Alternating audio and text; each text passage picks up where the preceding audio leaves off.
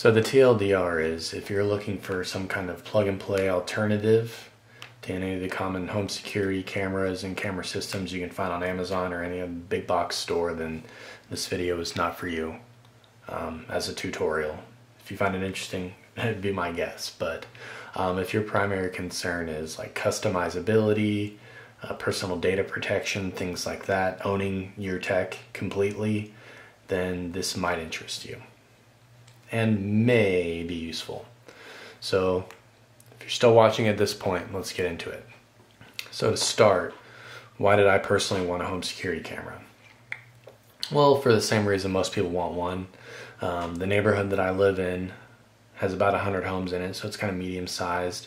It's pretty remote.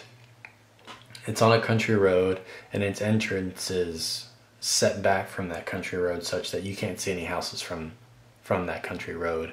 Um, and the next closest neighborhood is several miles away. And the neighborhood is surrounded by dense forest.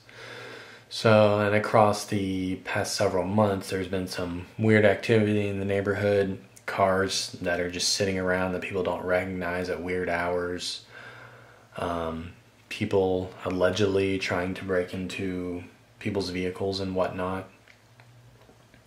So that's not great. Um, whether or not that's suddenly become a common thing, I have no idea. Or you know, it'll just regress to the mean and it'll go back to being extremely quiet. Who knows?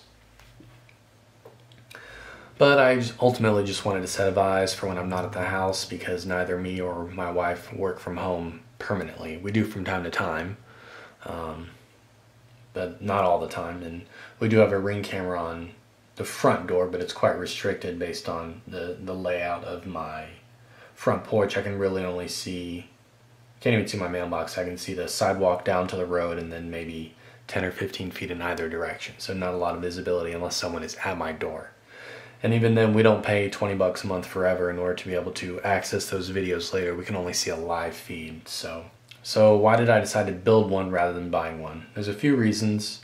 The first of which is that I felt pretty confident I could build one that could at least reasonably compete with an off the shelf solution. Another reason is that I already had a computer that could serve as a good home server uh, to dump the videos to from the um, camera. Excuse me. And I was also concerned about my data being on some random cloud server for other people to see. I don't know what security stuff looks like at Ring or whatever.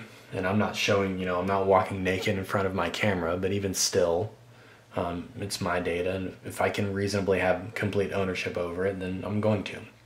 And there are some plug and play solutions that allow you to self host, but it seems to be that if, if those plug and play solutions are allowing you to stream to your phone, then that feed has to go somewhere, probably some company's server, which again is a problem for me personally.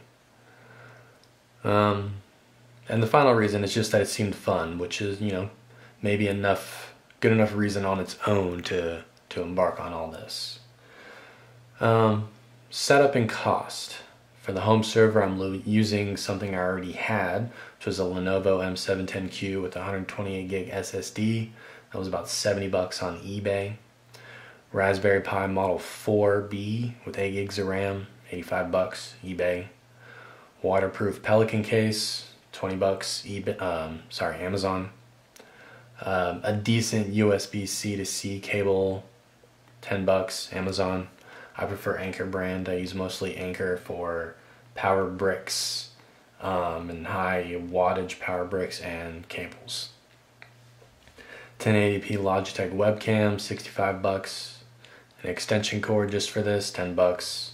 Out the door about 270, 280. Uh, the webcam was expensive, but it does do 1080p with auto exposure and autofocus. Um, it ended up being way overkill, but I'll get into that in a minute. For some more context, I used a lightweight free piece of software called Motion, uh, which is Linux native.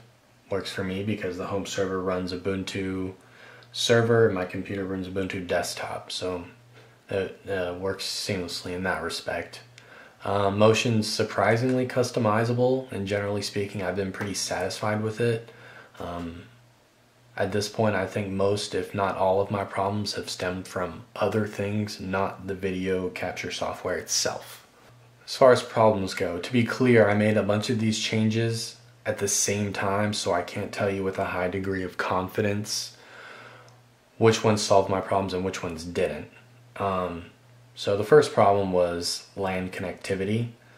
All of this requires a, a, router which is capable of assigning static IPs within your LAN in order for the Raspberry Pi to talk to your server, um, and vice versa, as well as being able to SSH into the server and pull videos to my local computer. Um, for whatever reason, the Pi defaulted to 2.4 gigahertz, which was throttling uh, video streaming. Um, I forced it to use 5 gigahertz, and I don't have a Wi Fi extender, so even though line of sight as a crow flies is um, maybe 25 feet from a router to the camera, um, it still had significant uh, signal loss. So that in the beginning caused a lot of failed and corrupted video saves. Running Ethernet uh, for PoE would have been a nightmare and it's kind of out of the question. I have no idea what kind of person wired my house, uh, but they should probably be jailed. I don't know who runs Cat5 under insulation. So, problem number two is weather and water. I'm in the deep south between ventilation and being waterproof. I chose the latter. Um, it is summertime still, a little bit. It's raining quite a bit, sometimes very heavily. Um, I have a sm- very small heat sink on the CPU itself for the Pi, but after a full day of running constantly, it gets almost concerningly hot, uh, despite being in shade most of the day. So if it was in direct sun all day, um, even if ambient outside is 80 degrees, it's probably going to be 150 plus in the in the container, the the case itself. Um, but it did rain hard a couple days already, and I had no problems. So at least I'm getting something out of this engineering trade-off. Uh, the waterproofing solution itself is kind of janky. The Pelican case itself has a gasket, but I had to drill a hole out for power so I did that and then I put silicone around that opening and then I silicone the connection from the USB-C to the power brick and then I silicone the power brick to the extension cord. So it looks ugly. I'm probably going to bury it to be honest. Um, so the lawnmower and weed eater and stuff doesn't get caught on or someone trips and also just because it looks ugly.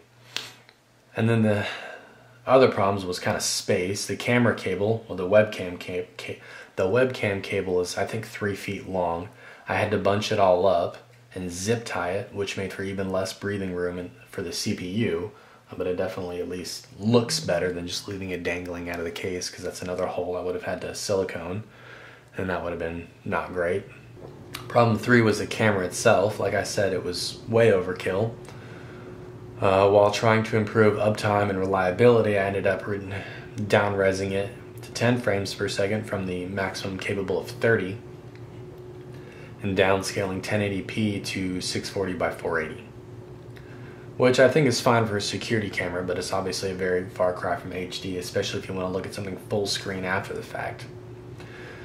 And on top of that, I had ChatGPT write a simple shell script to locally buffer videos on the Pi after they're recorded and then stream them to the server rather than trying to record or stream to the server as it's recording, which is very um, CPU and RAM intensive as well as just clogging up um, my home network. And if that write fails, well, then it's just lost forever because it wasn't cached or buffered anywhere. Um, out of the box, the camera was quite heavy and beefy, shockingly so, to be honest. It took some effort, uh, but with a YouTube tutorial, I was able to remove the mount, which I think is made out of metal for some reason. I don't know why. The camera itself weighs 50 grams. Um, and I also removed most of the camera housing with a Dremel, uh, which is maybe the best tool ever. And that was, but that was mostly for the purpose of saving space uh, within the case because it otherwise absolutely would would, would not have fit. But it also had the unintended consequence of making the indicator LEDs extremely obvious for when the webcam is running. It has four blue LEDs, two on each side of the lens and at night that would glare, that would reflect off of the case, the Pelican case, and it would wash out any video. So I just put silicone on over the uh, LED lights, which seems fine. Um, The auto exposure is fine on the camera. Again, I'm I ended up not using its full range just because again there's another trade-off between exposure, graininess and detail, things like that. Um, but low light capability in general is nothing to write home about. I suspect that's probably the case for most cameras that either don't have extremely slow shutter rates, therefore it's going to make any video blurry, or massive sensors, which this obviously doesn't have. I don't even think it's it's not even micro four thirds. It's probably not even the same size sensor um, that's in this, which I think is a centimeter square. I'm not certain.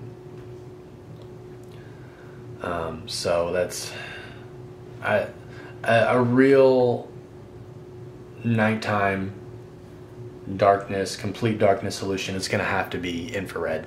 I don't see any other way around that. Maybe that's for V2. Maybe V2 will be a lot cooler.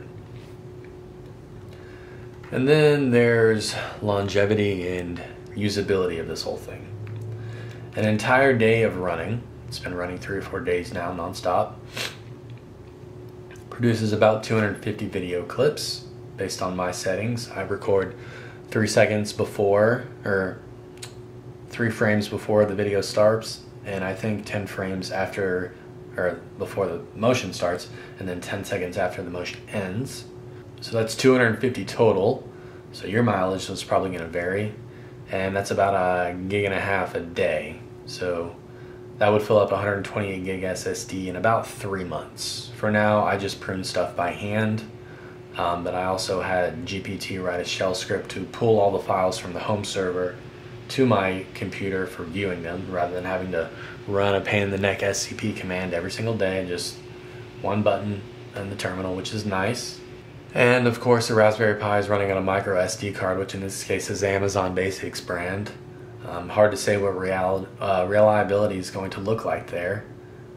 Uh, we're going into fall, so thermals might be less of an issue going forward, but uh, at 10 p.m. at night, the Pi CPU is still 120 degrees. It's 6 p.m. You know, we're in the end of September, it's 180 degrees. So who knows what it is at its peak? Maybe 190, 200 Fahrenheit.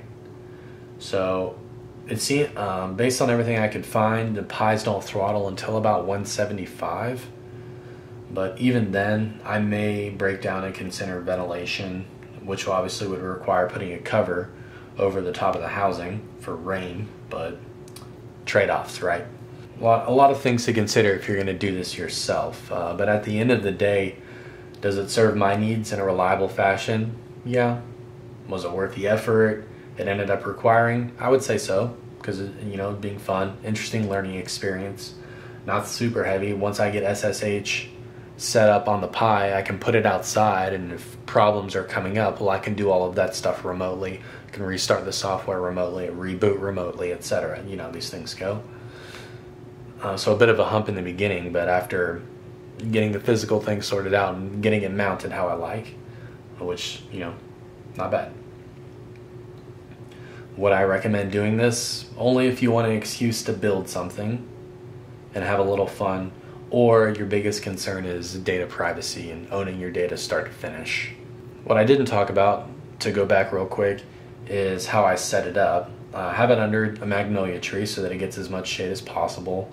And then I decided that because I have to run power manually, um, I wanted to put it sort of at the end of my just like two feet outside the corner of my garage so that I can see my entire driveway and a very, very large portion of the sidewalk, almost including the entrance of the neighborhood. So, you know, the, the field of view can only be so wide, and I don't want an ultra wide angle lens because that makes stuff fisheye and kind of hard to see, things like that, which I don't love. I may consider doing another one in the future for the back porch. Um, in which case I could add ventilation because it could be under the you know ceiling, the roof. Otherwise, very happy with it. I'm very very interested to see uh, what reliability is going to look like. If that ends up being interesting, I'll make an additional video and talk, you know, do kind of a post mortem and see what happened and how many days it ran and all this stuff. Um, but yeah, otherwise, I hope this was uh, interesting or informative I hope you like my my uh, my janky jerry rigged camera. But otherwise, thanks for watching, and uh, we'll see you next time.